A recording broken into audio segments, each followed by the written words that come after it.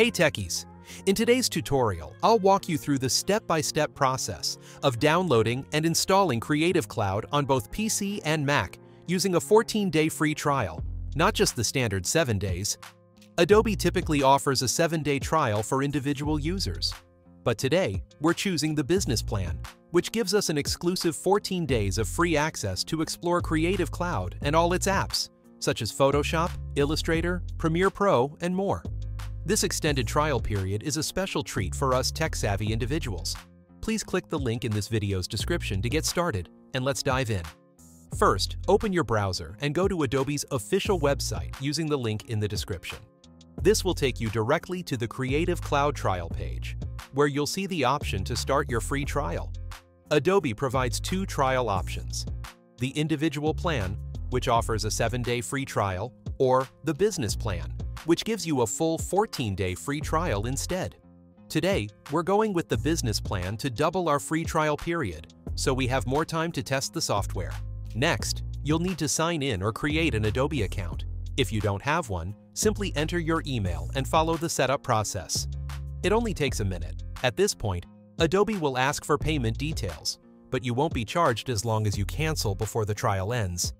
To make this process even more secure, I recommend setting a reminder on your phone to cancel before the 14 days are up. This way, you're in full control of your subscription. Once your trial is set up, Adobe will prompt you to download the Creative Cloud desktop app. This is where you can install and manage all Adobe applications. After installation, launch Adobe Creative Cloud and log in with the account you just created.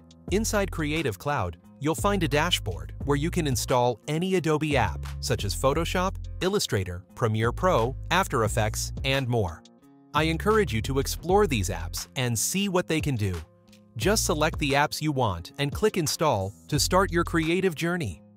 Now you have full access to Adobe Creative Cloud and its applications for free for 14 days. And that's it.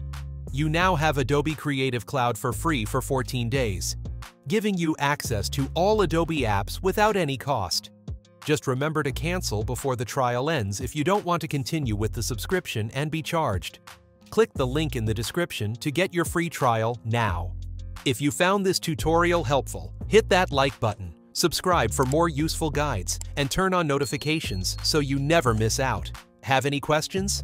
Drop them in the comments, and I'll be happy to help. Thanks for watching, and I'll see you in the next one.